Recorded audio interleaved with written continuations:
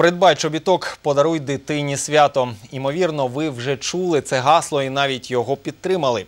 27 і 28 грудня у Дніпрі проходила благодійна акція на користь верхньодніпровського будинку інтернату, де живуть 179 людей.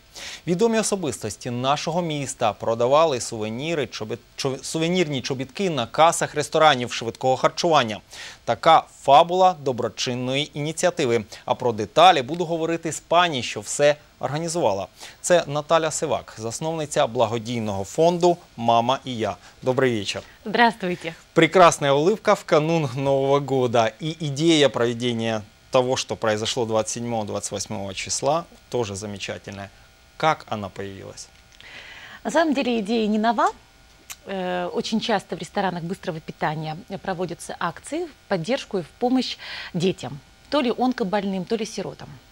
Поскольку я занимаюсь 10 лет сиротами нашего города и области, у меня давно была такая идея. Мне хотелось э, продавать солнышки во всех э, магазинах всех моих друзей, э, но, э, так сказать, идея оставалась идеей. И вот тут Новый год, я подумала, ну, надо все-таки что-то сделать хорошее и доброе к Новому году.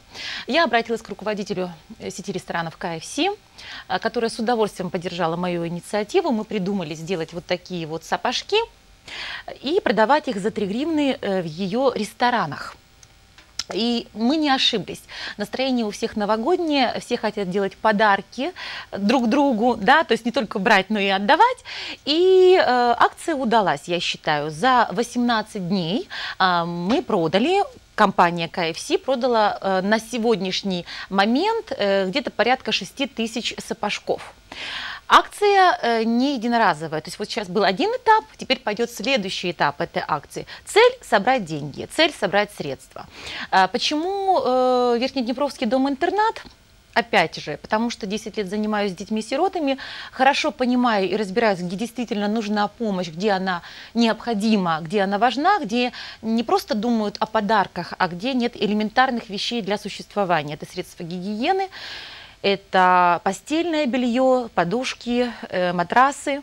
Э, Дети в Верхнеднепровском э, доме инвалиде э, очень тяжелые дети. Это дети-инвалиды умственно скажем так, нездоровые, э, взрослые люди, э, также нуждающиеся и в памперсах, потому что самостоятельно не могут себя обеспечивать. И, к сожалению, достаточно такое богом забытое место, я бы так сказала, потому что э, меценаты э, стараются помочь э, туда, где ближе, то, о чем знают. Э, Верхнеднепровский дом тоже знают, но доезжают туда мало и редко, и помощь для них э, остро необходима. Поэтому я надеюсь, что э, вот всем миром, да, э, за 18 дней, э, я считаю, что 6 тысяч сапожков, ну, будем так говорить, это 6 тысяч семей, 6 тысяч людей э, приняли участие в этой акции. И спасибо им огромное за их открытое сердце. Я всегда говорила, лучше маленькая помощь, чем большое сочувствие. Поэтому вот эта вот небольшая помощь, она принесет добро и поддержку Верхнеднепровскому дому-интернату. На что пойдут эти деньги, собранные в первую очередь? А, В первую очередь это будут э, постельные, э, постельные принадлежности, то есть это э, подушки, это матрасы. А, Я скажу больше. Конечно, мы не поедем с детям только с тем, что необходимо. У нас есть еще меценаты, а, которые знают об этой акции и готовы еще ее поддержать более усиленно и э, оказать еще помощь в плане э, сладостей и угощений для детей-сирот. То есть мы поедем и с нужной помощью, и с приятной помощью к ребятам.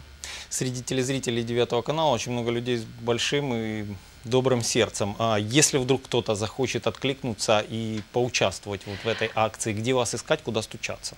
Ну, во-первых, акция имеет уже продолжение, э, потому что уже с сегодняшнего дня, поскольку вчера мы подвели итоги, э, мы начинаем сбор средств на Поливановский детский дом. Такой же сложный, такой же тяжелый, э, такие же проблемы, такие же дети находятся там, чуть-чуть меньше, их там 140 человек, 130-140 человек, но проблемы те же самые. Поэтому можно прийти в КФС, можно купить купить сапожки и поучаствовать в акции. Если хочется просто помочь, э, есть э, прямые контакты и Верхнеднепровского дома-интерната, и Поливановского дома-интерната. Можно напрямую связываться, напрямую интересоваться, напрямую помогать. Они всегда открыты к общению. А если хочется это сделать побыстрее и без какой-либо организационной э, логистической работы, можно обратиться к нам в «Мама плюс я». Мы также есть во всех соцсетях, есть наши телефоны, есть наши координаты 789 25 25. Наш неизменный телефон уже на протяжении многих лет. Можно позвонить, можно оказать помощь. Всегда рады. Работаем 24 часа в сутки, 7 дней в неделю. Если подводить определенные итоги года 2016 и поговорить о фонде вашем «Мама плюс я», а смотрите в будущее, с каким настроением, чего планируете, с чего планируете начать в 2017? Ну, Хотелось бы закрыть фонд на самом деле.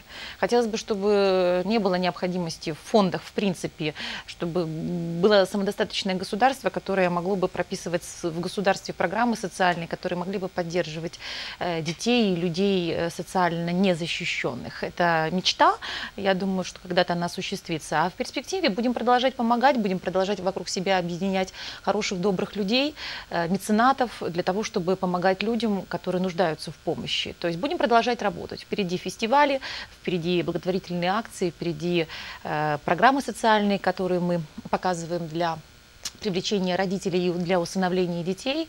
То есть впереди большая работа вместе с нашим городом, с нашей страной. Будем созидать.